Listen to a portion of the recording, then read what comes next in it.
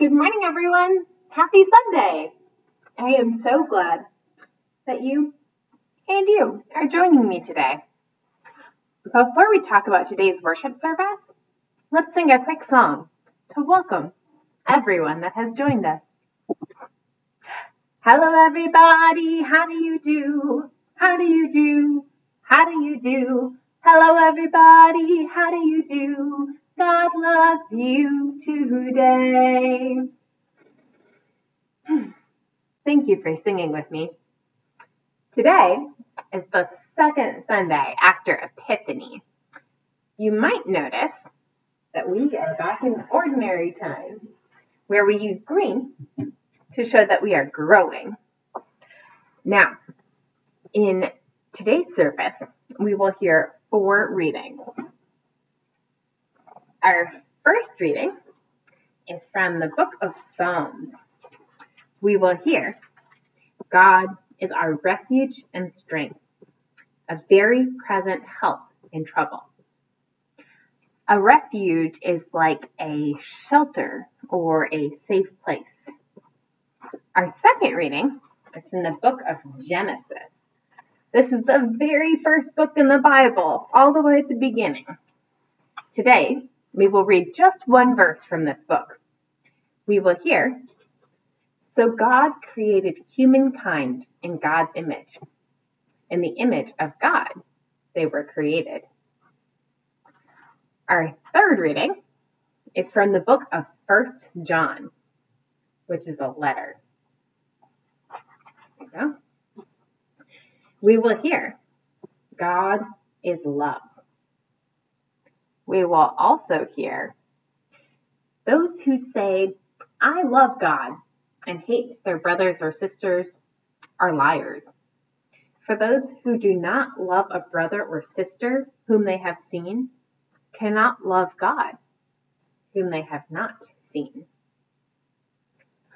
Our fourth reading is from the Gospel of John. Remember, the Gospels are the four stories about Jesus' life. In today's gospel reading, we will hear Jesus say, I am the light of the world. Whoever follows me will never walk in darkness, but will have the light of life.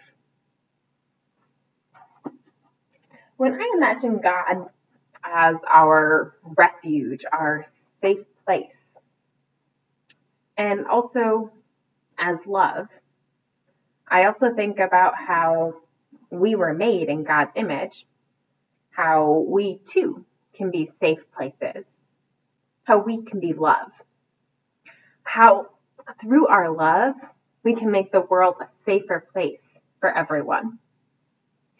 Tomorrow is an important day. It is Martin Luther King Jr. Day.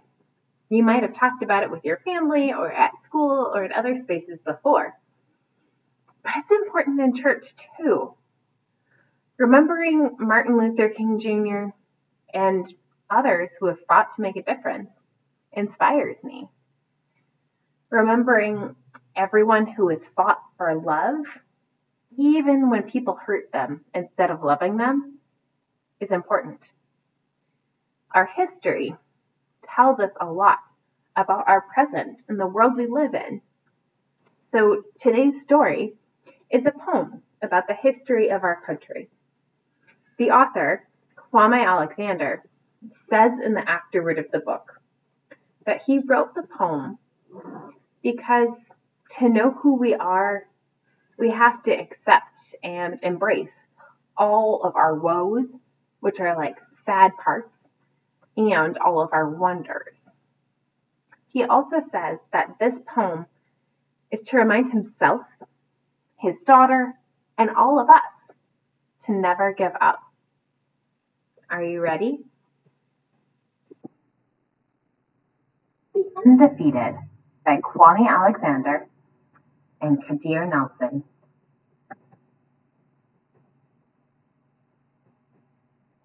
This is for the unforgettable, the swift and sweet ones who hurdled history and opened a world of possible. The ones who survived America by any means necessary and the ones who didn't. This is for the undeniable, the ones who scored with chains on one hand and faith in the other.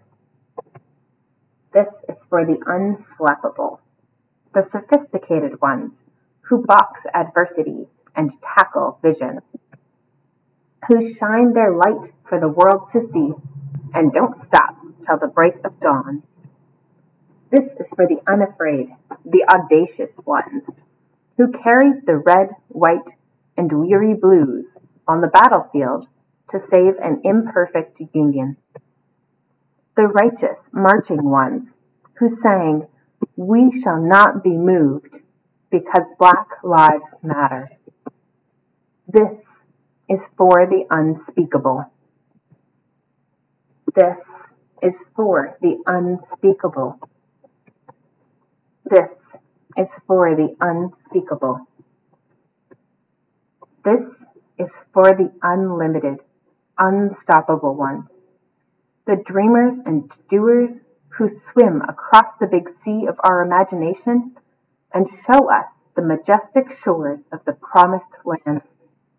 The Wilma Rudolphs, the Muhammad Alis, the Althea Gibsons, the Jesse Owenses, the Jordans and the LeBrons, the Serenas and the Cheryls, the Reese Whitleys, and the undiscovered. This is for the unbelievable, the we real cool ones. This is for the unbending, the black as the night is beautiful ones. This is for the underdogs and the uncertain, the unspoken, but no longer untitled. This is for the undefeated. This is for you and you and you. This is for us. The end. And if you want, you can check this book out in the library and read more about all of these historical figures and events.